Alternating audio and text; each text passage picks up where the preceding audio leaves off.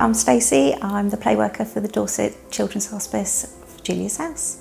Our nursing team are incredible, our care team are incredible, but it's really important to also have those other opportunities available to all of our children.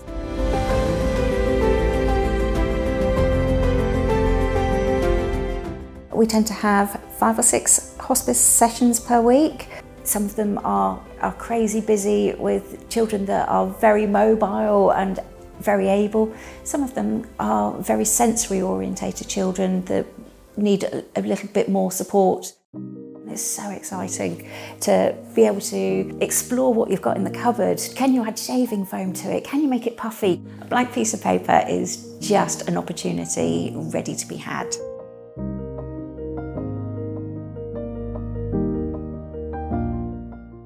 It can give them that freedom, remove some inhibitions, allow them to be creative with no pressure. It can be about the process rather than an outcome.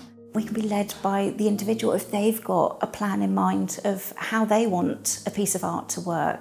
It could be that they're feeling really excitable and it's a big energetic piece of art or it can be a really calming, nice, soothing way or it could be just a couple of feet gently moving in a tray of paint or um, coloured rice, whatever it is to, to make those marks that are their own marks. It's that toing and froing of a conversation of do they want to add in this resource, do they want to add in this resource, and that actual expression of themselves, that understanding of their own perceptions of what they're able to do. One of my favourite areas for work is messy play. Messy play is great. It can give you that level playing field to just explore. It's about the process, it's not about an end result. It's about the feel of a texture on your hands or on your feet. It's that expression, that feeling, the sounds it makes, the squelch, the squirming. We've used cake mixtures, we use cut fruit, bit of all sorts, add some tools in. It can just bring that sense of fun. At the end of the day, that's what we want for our children and young people. We want that sense of fun.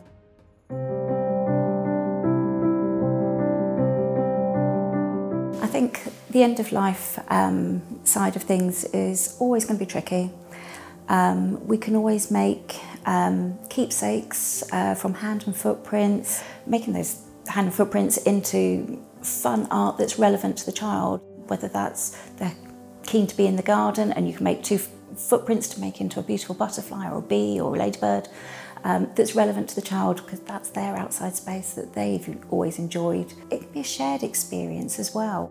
We do um, lots of family support areas um, that support the wider family, so the grandparents, the siblings, the parents. So with that, with the artwork, we can actually bring in so that everybody can contribute. If someone could have a nice passing, if there's ever such a thing, could we make that happen through art? It's just that opportunity that is so valuable.